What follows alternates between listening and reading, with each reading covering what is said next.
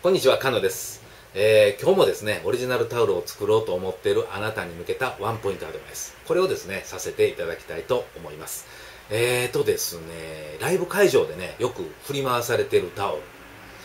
でね、その中でもよく細長いタオルっていうのをね、目にすると思うんですけども、これは何ぞやっていう話なんですけども、これはね、実はマフラータオルと言います。で、幅が大体20センチとか25センチの幅で、長さですね。長さが大体1メーター10あるんですね。一般的なタオルって幅が大体34、5センチで長さが80ぐらいなんで、えーちょっと一回り細くって長さも一回り長いっていう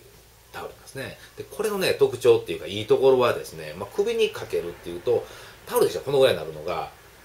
ちょうどね、胸のあたりまでね、伸びるんですよね。で、非常に持ちやすい。だから、ジョギングなんかする時でもこう持って走ったりすることもできるしっていうことなんですけども、ライブ会場ではね、細長いんで、目立つんですね。